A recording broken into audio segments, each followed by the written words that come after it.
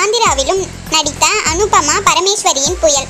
தன்னுடைய சுருள் முடி மூலம் மலையாள ரசிகர்களை கட்டி போட்டவர் அனுபமா பரமேஸ்வரன். பிரேமம் படத்தை தொடர்ந்து இவர் தெலுங்கில் அ ஆ படத்தில் இரண்டாவது நாயகியாக நடித்திருந்தார்.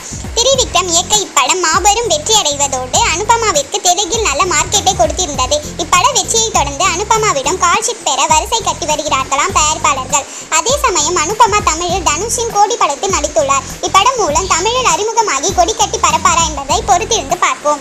அதைத் தொடர்ந்து ஆந்திராவிலும் நடித்த அனுபமா பரமேஸ்வரியின் புயல். தன்னுடைய சுருள் முடி மூலம் மலையாள ரசிகர்களை கட்டி போட்டவர் அனுபமா பரமேஸ்வரன். பிரேமம் படத்தை தொடர்ந்து இவர்